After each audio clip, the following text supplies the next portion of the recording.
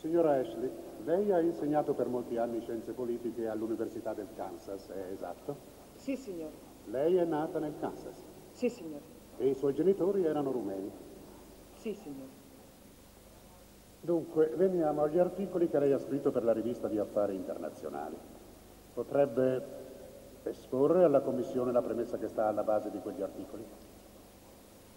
Sono basati sulla constatazione che attualmente esistono al mondo vari patti economici internazionali e poiché questi sono mutualmente esclusivi, contribuiscono a dividere questo nostro mondo in blocchi antagonistici e competitivi piuttosto che ad unirlo. Infatti, l'Europa ha il mercato comune, i paesi dell'Est hanno il Comecon e poi c'è lo CSD. Io vorrei che il nostro governo promuovesse un mercato comune che comprendesse sia gli alleati che i nemici. Persone che fanno insieme affari vantaggiosi non si uccidono fra loro e credo che lo stesso possa valere per le nazioni.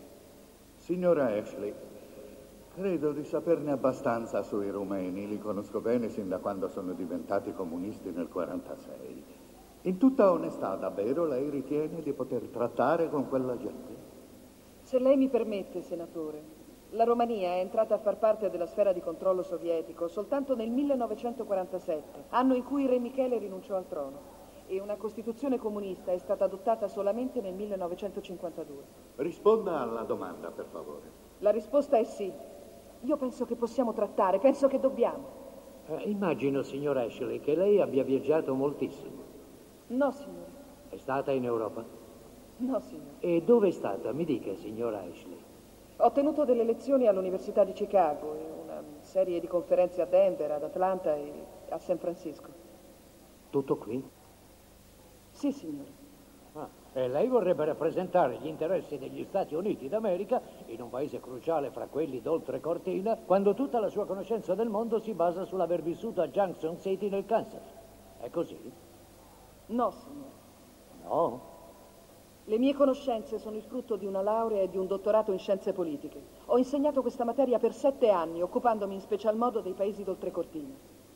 Sì, è vero, io non ho alcuna esperienza diplomatica e non sono mai stata all'estero. Ma vorrei ricordarvi che un terzo dei nostri attuali ambasciatori non provengono dalla carriera diplomatica. Un fatto che non tutti però ritengono positivo. Io conosco a fondo la situazione e i problemi del popolo rumeno. So che cosa pensa degli Stati Uniti e perché. Tutto quello che i rumeni sanno di noi proviene dal loro apparato propagandistico. Io voglio riuscire a convincerli che gli Stati Uniti non sono una nazione arrogante, espansionista e guerrafondaia. Vorrei mostrare loro come siamo davvero, com'è una tipica famiglia americana. C'è forse qualcosa di male nel farsi conoscere per quelli che si è. Se mi affiderete l'incarico, senatore, mi adopererò perché ci conoscano. E chi lo sa, potremmo anche piacergli.